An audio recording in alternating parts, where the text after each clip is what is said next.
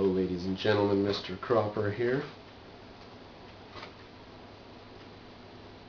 I wanted to talk to you about adult education. Uh, most of my viewers are in their 20s and 30s, some are in their 40s, but most are in their 20s and 30s, and there's a few teenagers. But none of you are like 9 or 7 or whatever.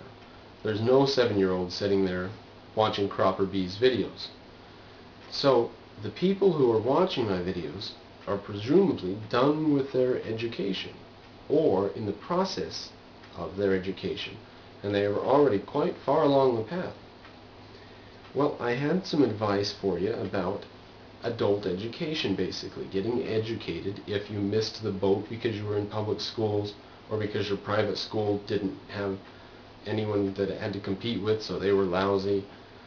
So if you missed the boat and you need to educate yourself later in life and even if you're like 60 this advice stands even if you're 60 if you don't have much time Leonard Peikoff gives this advice in his uh, course on education. He says that you should learn history not math or science if you're older. He says that history is the first thing you said about you.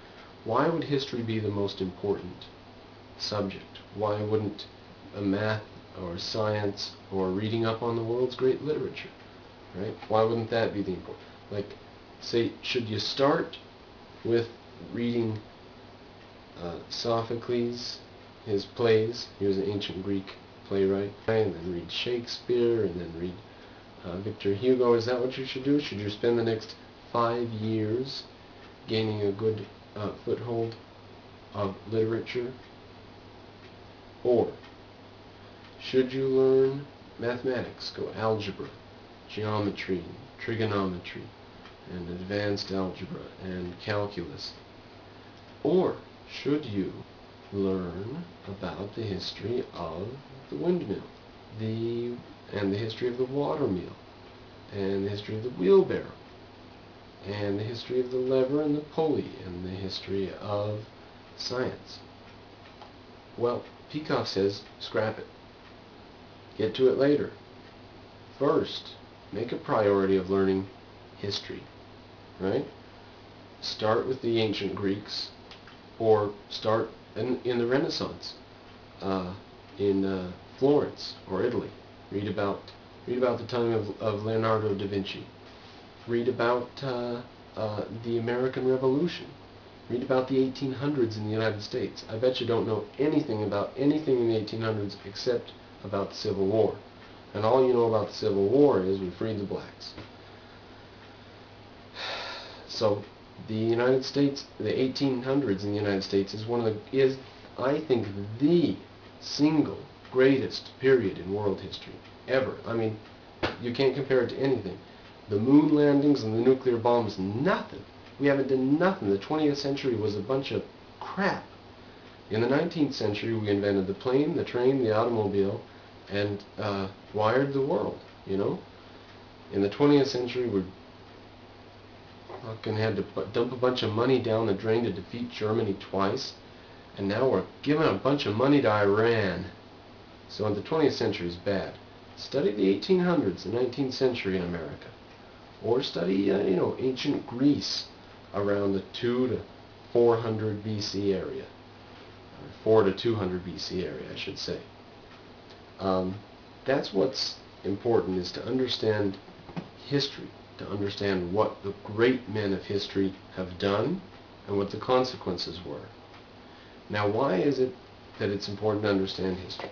And it all comes down to this. Edith Hamilton had a great quote in her book, The Greek Way. Now, I'm going to just do the quote as best I can from memory. I can't uh, motivate myself to grab the book. But it's just something to the effect of uh, men have a certain nature to them.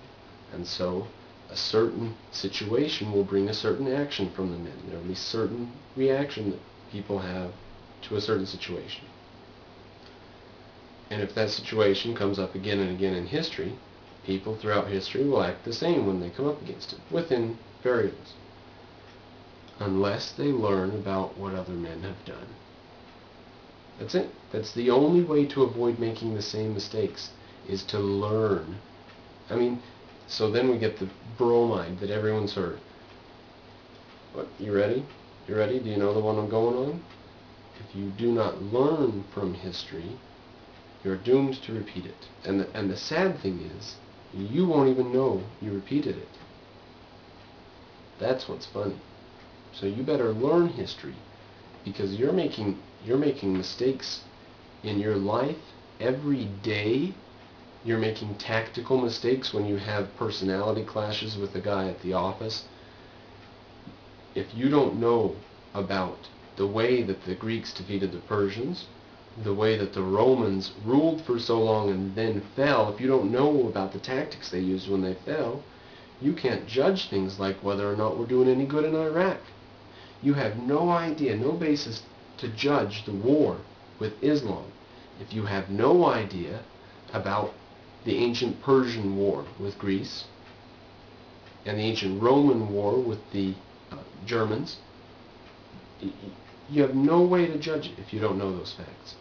So that's what history is, is it gives you tools to know the world around you. I believe history is the most important. I had a good foundation in history before I branched out and started reading books in science and math and uh, expanding my literature intake. So history was where I started because because I I guess because I sensed early on that it was the most important that you, you had to know about the broad outline and then you can learn the details in between. So take that advice and go get a good history book today and don't get the latest. Like for example, um, go on on uh, Abe Books, A-B-E Books.com, Abe Advanced Book Exchange, A-B-E, uh, and type in the maximum published date as 1950. So you won't read a book published after 1950, and search for the history of Italy during the Renaissance, or a book on ancient Greece. Put the put the published date 1925 so you won't accept any books published after 1925 and search for books about ancient Greece right?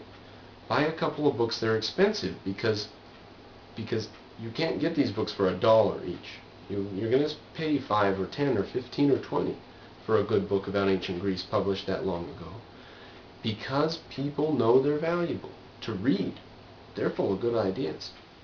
Go get a good history book. Not the latest stuff. Do not go to Barnes & Noble and give 30 bucks to some socialist uh, like like uh, Jared Diamond.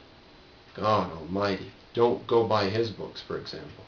If you want to know history, go buy a used book off the internet published before 1950. And there's other great books. There's published in the 1970s and 80s. Go watch my my uh, videos on uh, on books and uh, if you want a particular historical era. So go get an education in history. That's where you need to start if you missed the boat when you were younger.